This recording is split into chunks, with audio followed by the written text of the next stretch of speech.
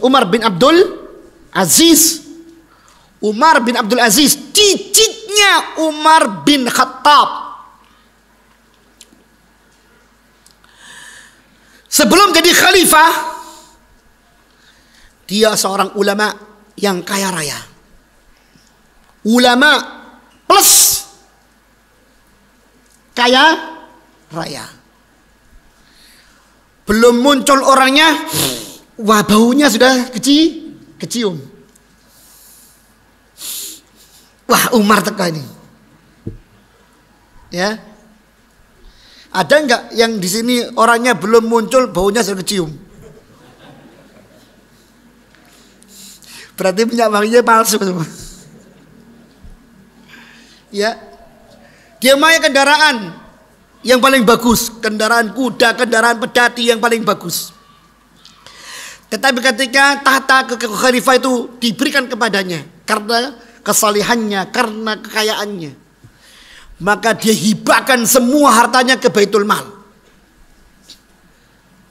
Hartanya diberikan ke Baitul Mal, padahal itu harta sendiri sendiri. Bukan mengatakan ajimum mumpung, enggak.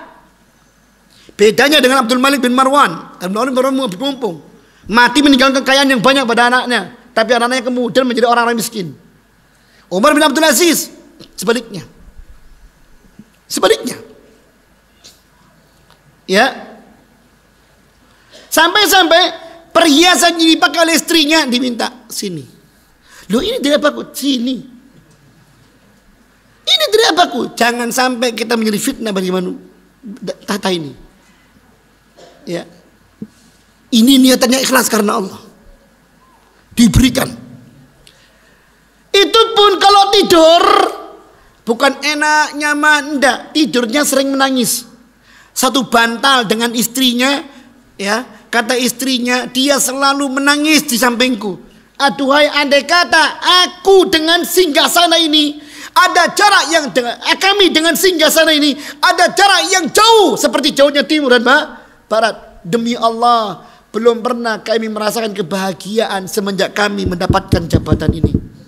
Suamiku selalu menangis setiap malam